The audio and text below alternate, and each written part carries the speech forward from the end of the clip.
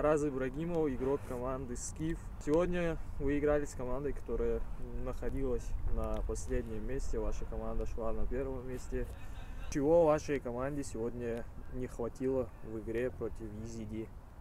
Ну, не хватило собранности в первую очередь. Мы пустили быстрый гол, и это как бы сказалось э, на игре. Мы не смогли собраться и ну, в целом атаковали всю игру, но собраться и забить ну, не получилось.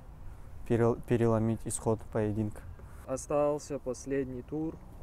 Что пожелаете своей команде и какие пожелания будут сопернику? Ну, своей команде я хочу пожелать э, собранности, э, характера.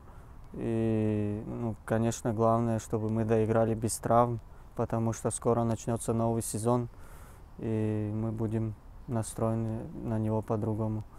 А остальным командам также желаю закончить э, без травм.